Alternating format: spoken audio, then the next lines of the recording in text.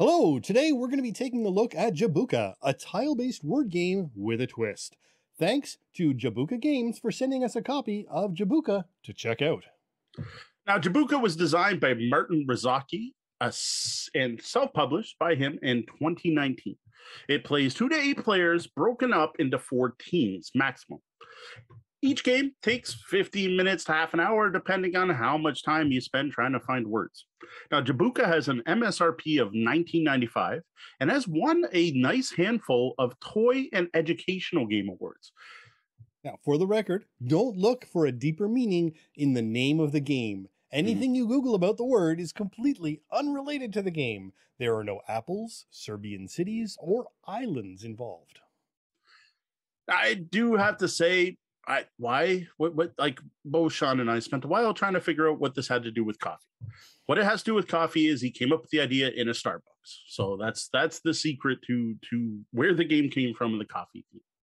So in a game of Jabuka, you spill the letter beans on the table and players rush to spell words.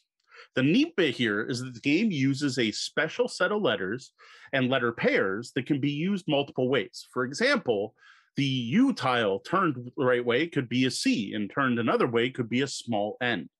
Now, along with spelling your own words, players can also steal words from other players by rearranging the letters, adding letters to the opponent's words, or rotating the letters. To get a look at the coffee themed components in this game, check out our Jabuka unboxing video on YouTube. So the game comes in a small sack-like bag, like a you know a coffee bean bag with a cardboard tag on it. You can tell that's meant to be on store shelves like that. Now inside you will find a set of two-sided fold-out instructions and of course all the letter tiles. Now these tiles are made of recycled wood and are shaped like coffee beans. Now the letters are only on one side of the beans, and the special twistable letters are in yellow, with the rest of the letters being in white. In addition, the game includes eight lighter colored coffee beans that are used as wild cards that have no letters on them. Now, it is worth noting that many of my tiles were stuck together when I opened this up. Now, these weren't difficult to separate, and once separated, I didn't notice any damage to the stuck tiles. But this isn't something my kids wouldn't have been able to do. Like, it did take some strength to kind of snap them apart. There are many factors that could cause the sticking, including recent heat waves, but the designer is reaching out to their manufacturer about the issue we found. So you start a game of Jabuka with the pour. You take the sack and dump the coffee bean shaped tiles out all over the table. Now, no, you don't flip any of the tiles over, but you do make sure they're all laying flat so that players can see the face up letters. Now, the players break into four teams, up to four teams, sorry. Each team takes two of the light colored tiles with no letters on them as wild cards. So you say four teams, but this game plays two to eight players. Yes. Uh, is there any variant rules for two to three players or nope? No, with two to, with two players, you're each on your own team. With three players, you're each on your own team, or two players can pair up against the other. It's it's just the the max though is four teams. Now, what happens though with your teams is that it dictates whose words you're going to add together. So if you and I are a team, you're going to grab your own words and put them in front of you. But at the end of the game, we're going to get points for both of ours. And it matters for stealing, which we'll get to in a minute. Now, letters are on the table. Everyone's going to look and try to find words, right? When you spot a word, you're going to say it out loud. This is an important rule of the game. And then grab the individual beans that make up that word and place the completed word in front of you. Note that if two players say the same word, the player who grabs the beans first gets the word. Also, if someone grabs a bean for your word, before you can finish spelling it in front of you, you have to put the letters back and find a new word. Now, with this, this isn't meant to be a game of spoons. There's no wrestling around. There's no fighting over beans. The first person to touch the bean gets it. No jostling each other or anything like that. I I just feel like with some groups, this game sounds like it could use a referee. Mm-hmm. Uh, there wasn't a problem in our games, but we were playing with our kids, and it didn't get too uh, too hot and heated. But yeah, I could definitely see a couple people like trying to oh or try to try to steal it. Now, a neat part of this is someone can, if they hear you say a word, try to find a word that uses the other letters and say it quickly to be able to grab theirs. But note there is that time of having to say the word, so usually you can grab your letters pretty quickly. Now, in addition to spelling your own words, players can also steal words from the opponent's teams. This is done in one of three ways. Rearrange a word, move the letters in the word around to make a new word add letters to a word to make a new word. Uh, this could be at the end, in the middle, and you can add as many letters as you want. or rotating the special Jabuka letters to form a new word. Because again, you have a bunch of multi-use letters that can be used at least two different ways on all of them. And you can combine all of these. So you could add a new letter and rotate a letter and rearrange things to steal a word. Now, while a word can get stolen multiple times, you can't reuse an earlier form of that word to steal it back. So you can't be like, well, I put war and I put um, and I changed it to raw. And then you're like, well, I'm going to change raw to war. Well, no, I'm going to change war to raw. You can't do that. You can't reuse the same word with the same letters. So not only do you have to manage grabbing the right tiles for the words you've said, who touches what in what order, and you have to track, at least keep in mind what words have been used mm-hmm. so that no one can go back to an earlier one that has already been used with a grouping. Yeah, there is definitely a memory element to this game. Even when you're looking on Board Game Geek, one of the mechanics listed for this is memory. Similar, like like if if a player forgets the previous form on your of a word you had, the opponent's welcome to steal it back. That is totally a legal move. Okay, so you can you you can cheat as per se if in, in a no way, one, yeah. As long as no one catches you. As long as no one catches you, and that's important. There is actually a section of the rules about how quick, right? Like how by the time you're spelling your next word, you can't back up is one of the rules. Now, remember the beginning, you poured the beans. Well, some of them are going to end up face down. So at some point, players are going to start having a hard time finding words. At any point, any player playing can say flip. Everyone agrees you flip the tiles. Now, there's a strategy here where a player could be like, hell no, I still see four more words. I'm not flipping anything. You go flip yourself, and I'm going to keep building stuff. But once everyone does agree, each team flips two more tiles. And then they make words and you keep going. You keep doing this until the final flip, when the last beans become face up. The first player after that that makes a word says Jabuka, and as soon as they finish the cut, the game stops wherever you are. If you're halfway through playing a word, you got to put it back. Teams then out how many beans they have. Literally count the pieces. Team with the most pieces wins the game. All right. Well, now that you've given us an overview of play, what did you think of Jabuka? So when I was first contacted by Martin, the designer of Jabuka, on Instagram, it took a quick look at the webpage and I was like, I need this. I got to get this game. I have to check this out. And I was so excited to test this because of the way it uses letters for other letters by twisting them. This is something my kids have been doing for the last few years on our fridge. Like over the years, and I think every parent has this exact same thing happen. We've collected a number of letter and number magnets from various toys, and none of those sets are complete anymore. Due to this, we're missing a number of letters and numbers, and we don't have enough of certain numbers and so on. And Deanna and I have both been blown away by our kids' creativity in using the letters we do have to spell things out. And that's what got me excited about Jabuka. Indeed, the concept really caught my eye when you shared it to me as well. I think many, many families have this hmm. same shared fridge letters experience. I'm gonna have to do that. I'm gonna have to like go on Twitter and see if I can start a, a viral post on who else does this type of thing. Now, when I first dumped out the beans, I was really excited. I wanted to see what they'd done. Right, I want to see this. I, I I loved the look, weight, and texture of the beans. Like they feel very light. Like coffee beans, you expect to be kind of heavy. They're not. If you've ever had roasted coffee beans, they're like very, and they make a really good sound when dumping them. Like just the clatter is fantastic. We should note that these are recycled wood. Yes. Uh, so this game has a very low carbon footprint again because they're not. This is there's no box. It's just a bag. Now, what I wasn't expecting is that you don't get to do it yourself. It's not up to the players to figure out what, what words or letters are twistable. The twistable letters are in a different color. And along with this, each letter can only be used to make specific other letters. Like there's a chart in the rulebook to show all the legal letter swaps. This kind of surprised me. I expected this to be more freeform. I expected you to be able to make whatever you want out of any or all the letters. Like with this, my entire family, because we've been playing the fridge game for the last few years, felt there were some omissions. Like, where's the capital I that could also be a small L? Or where's the Z you turn on its side to be an N?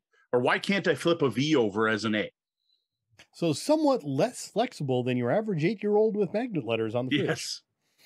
Now, the other surprise for me was the fact there are two letter combinations. Now, Sean also checked out the webpage. I'm wondering if you noticed it, but like I had no clue those were in there. Like I thought this was really cool. Like this is something I can't do on my fridge magnets. I don't have the the the two letter stuff, which uh, one's NG, and when you flip it, it's uh I now I forget UD or whatever. I don't know. They all work. I'm forgetting off the top of my head. Like I actually went back today and went back to their webpage, and in one picture they show one, but it's definitely not something they highlighted. And I appreciate this. This is cool. I like this aspect. That was something that, that wasn't really highlighted in the marketing material. So that's a bonus. Yeah, and while there are some things missing that we wish were there, this is a nice addition yeah. that we weren't expecting. Exactly. Now, I'll admit, I called the designer out. I'm like, I showed him pictures of my fridge and the stuff I my kids have done, like sevens as T's using leet speech and um, X's as K's when put next to another letter. And they've come up with some really creative stuff. And I said, why didn't you use some of the obvious swaps, right? And the designer wrote back and said the main thing is it's meant to be a party game. This is supposed to be quick and easy to teach. And by saying the yellow ones are special, don't worry about the others, makes uh, your decision uh, tree smaller. You don't have to worry about the white letters. You can't flip those. You only have to worry about the yellow ones. And then he also wanted it to be very clear what letters could be used as word to avoid arguments. So you don't have someone new coming in and going, well, that's not a, that doesn't actually look like an X. That's a T. Like the the thing's obviously smaller. There's no way that's an X, right? You want to avoid those arguments, and I guess I get it. Yeah, I everyone's idea of a party is different, I guess. so, well, not quite what I expected. Uh, the the Jabuka letter set does work. Like it works while you're playing. Um, it really does require some creative thinking in order to build words with the set and even more imagination to use ways to use these twisty letters and pairs to steal words. And that stealing word aspect is something else that it, I, I don't know about unique completely, but it's definitely unusual for letter tile games, tile letter games, right? Like I honestly have not played and can't think of any other game that lets you steal opponents' words by modifying them yes, there's building on other words in Scrabble and building on top of words and upwards, but like you don't take the word, it doesn't become yours. You're just building on a central tableau.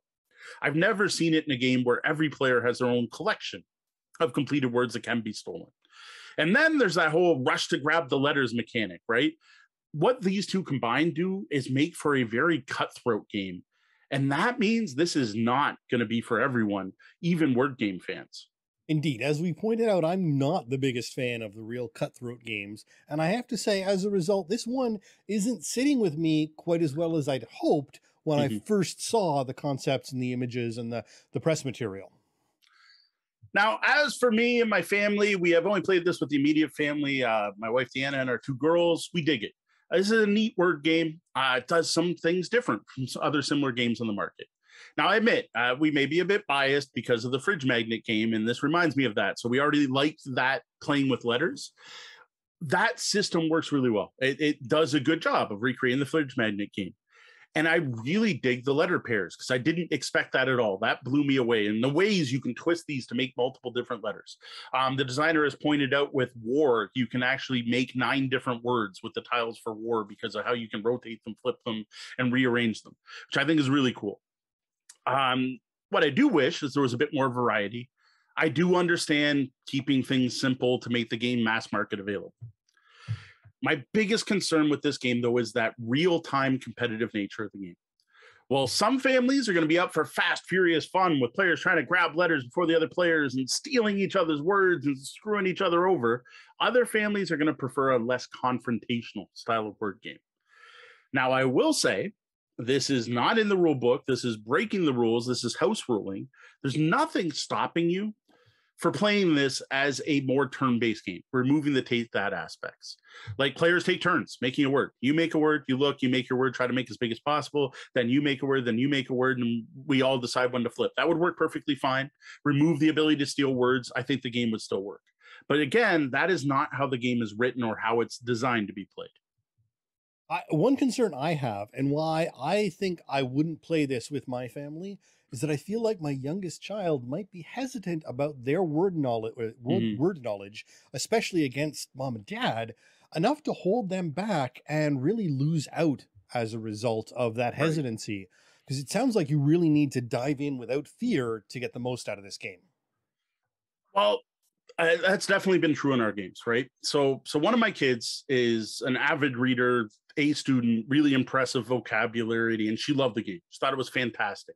She kicks my butt every time we play against each other, and I still haven't gotten her to sit down. I was hoping to get it today to have a mother daughter game because Deanna's the big word game fan out of the two of us. Now, my other daughter, who does like to read, does struggle with spelling grammar and due to that did not like this game at all. Um, she honestly kind of had a meltdown the first time playing. She particularly hated the fact that she would work really hard to build a word even something small like pig and then someone else could steal her hard one word. And and it took her so much effort to even make that one word that that was devastating for her to have stuff stolen. All right well to wrap things up if you dig word games, I do recommend giving Jabuka a try. It's definitely not just another word tile game. It's not just another bananagrams. It's not just another Scrabble tiles. It's not another, I can't even remember what the Apple one's called that comes in an apple. This is something different. It adds an additional twist, pun intended, in both the multi use tiles and the ability to steal words from the opposing team. If you're not a word game fan, you probably aren't even listening anymore and have already hit skip and went to the next section. Uh, if you have, stuck around, I'm sorry to say, I don't think Jabuka is going to win you over. Like maybe if you just like really cutthroat games where you can stab your opponents in the back and like stealing things from your opponents to win, you might enjoy that. Now, what I will say, if you own a coffee shop, you should be reaching out to these people, possibly for a sponsorship and just get some copies in your store. Sell it. Like the coffee bean theme here is perfect Plus, it's just something cool to have out on the tables for patrons to play with.